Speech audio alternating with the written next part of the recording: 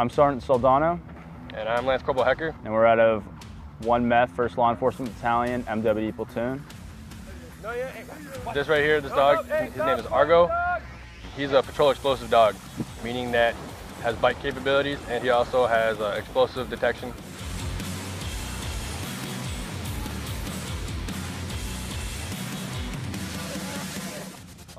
And this is MWD Ammo. He's a SSD, Specialized Search Dog.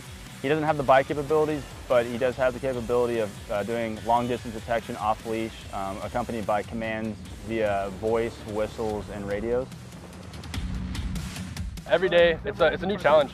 Honestly, me and my dog, we learn about each other.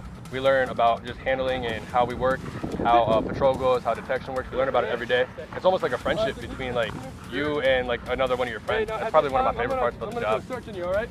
I don't want you to do any semi-aggressive movements because my dog will attack you on or off leash with what I can. You understand? I've been on ammo for about 11 months or so.